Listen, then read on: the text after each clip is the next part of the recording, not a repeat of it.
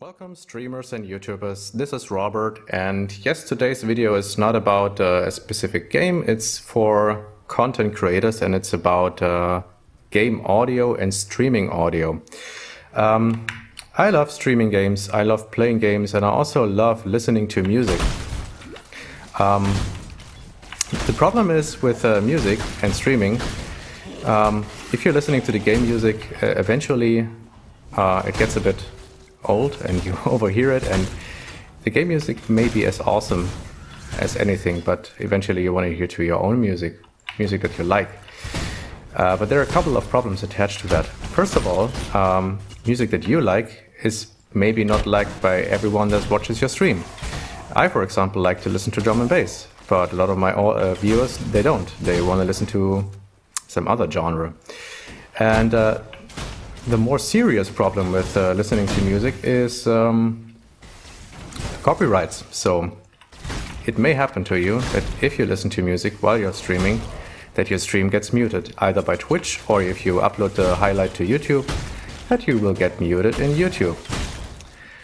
So I searched for a way to um, work around this and I did. So in fact, if I bring this closer to the microphone, you should basically hear that there's music. And it's actually it's coming from well, it's coming from Winamp. And I can listen to this music while I'm playing the game but it's not streamed. So how did I do that? Today's video is about that. So let me just go somewhere quiet and um, turn this on and also remove the overlays because we don't need it. Um, it looks very difficult, uh, but it's actually fairly simple. Once you have all the software and all the stuff installed and set this up, you just have to do it once and then this will work for you. Um, a lot of the stuff I talk about um, I got from uh, a video tutorial from MrTimeItself. Really, really awesome channel. Really, really awesome videos. Uh, learned a lot from, from him. So please check out his stuff if you're interested in uh, audio processing and uh, improving your stream.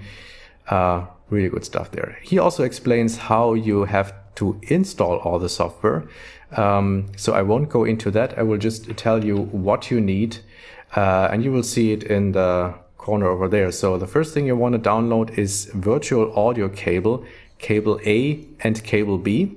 That's donationware, so you don't have to pay for it, but it's awesome if you um, support those guys. I, uh, I um, threw a couple of dollars to them because their solution basically made this possible.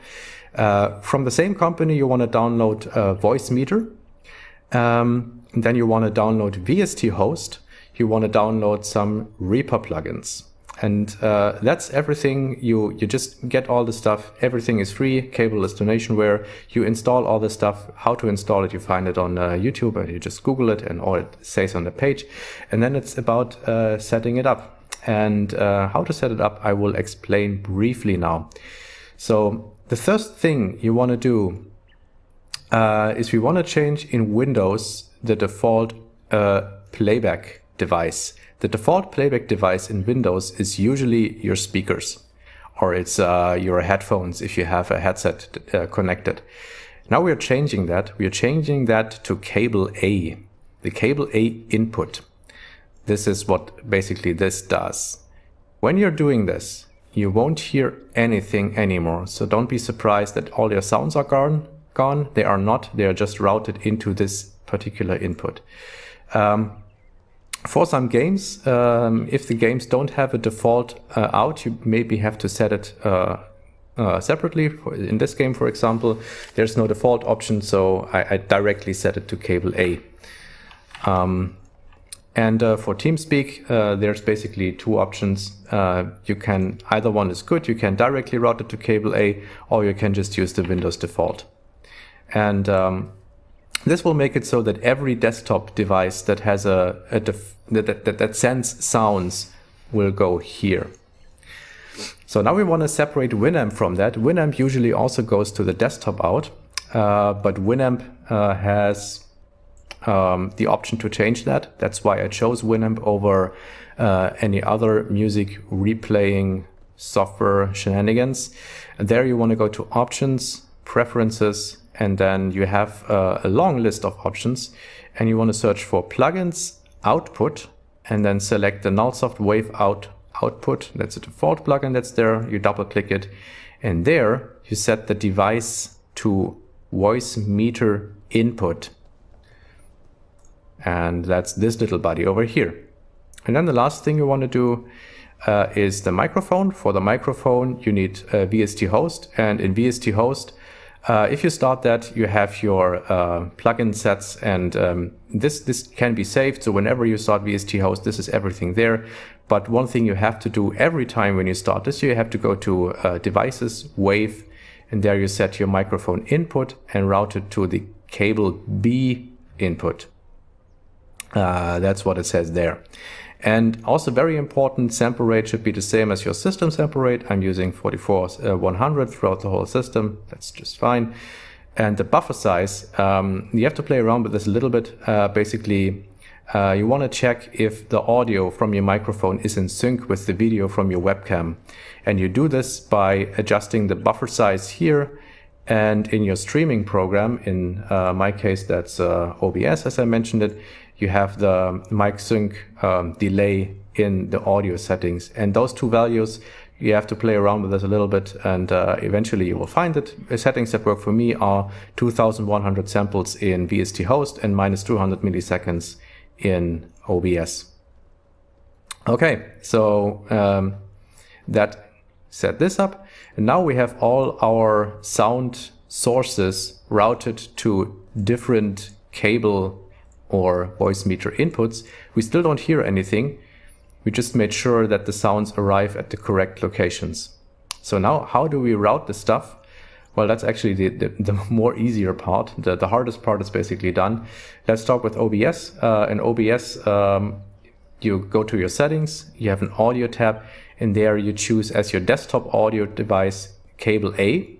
That's what we have here. So it receives audio from game browsers TeamSpeak and we want to send that to the stream. So that's what we have here. Cable A is the desktop audio and then cable B will be our microphone.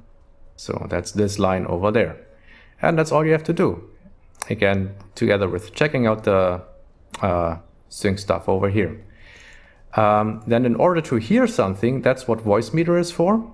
Uh, Voicemeeter, that's uh, this small software over here. Um, and uh, it has two hardware inputs, a virtual input and two outputs, uh, uh, a main out and a, uh, a virtual out.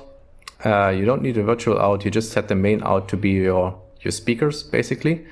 And um, then you bring in your desktop audio on one of the hardware inputs. I have it on hardware input 2. And then here you say that you want to have your hardware input routed to your main out together with the virtual input. The virtual input is um, Winamp. So if I play this again, then uh, you won't hear anything, of course, but uh, you see that um, this is basically the music. Whenever I turn the music on, this is on this virtual device, and and because it's a virtual device, it is not routed to the desktop audio, and it's not audible in the stream. But here I can route it to the speakers. And uh, that's what I'm doing with this.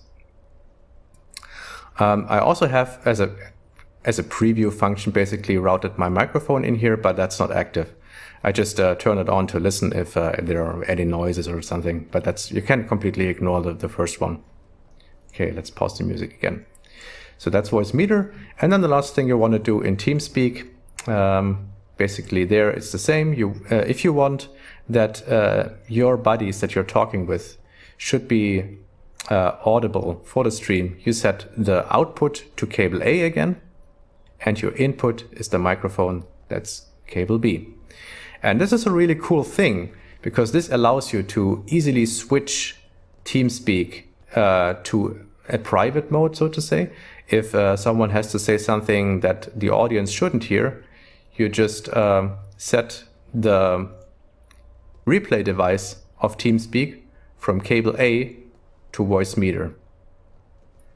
what this does is basically this.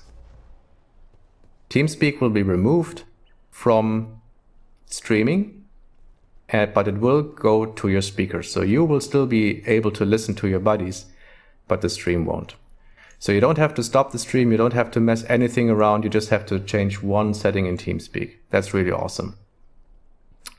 Um, so that's that's basically the setup. I hope uh, that's clear.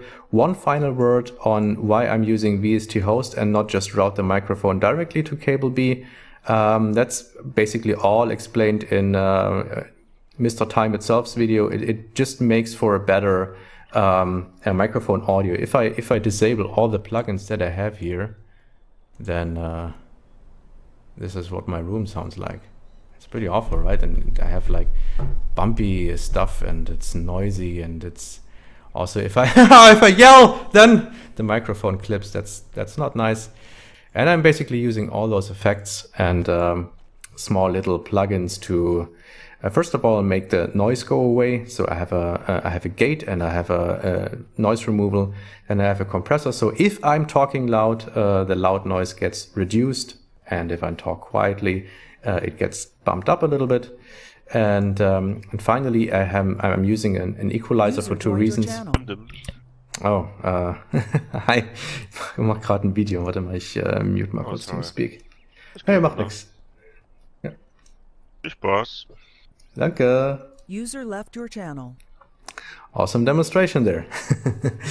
um, yeah, I'm using the equalizer basically for two things. The first thing is I remove uh, bumps. So if I bang on the table, you still hear it, but it's not so bass intensive. And the second thing is basically the keyboards. That's what the notch filter is for here in the end. Uh, there's an uh, there's a, uh, a band pass um, at um, three kilohertz. This is where the most annoying clicking sounds of my keyboard is coming from, and it, it reduces it a little bit. So um, yeah, just those minor things to make audio a little bit better. That's about it. Uh, I hope I could um, give you guys a little bit of inspiration. Uh, if you're using something similar, I would be really keen to know what your solution to this problem was. If you have any questions, if you have any suggestions, anything, just leave them in the comments below. And I wish you a very nice day. Bye.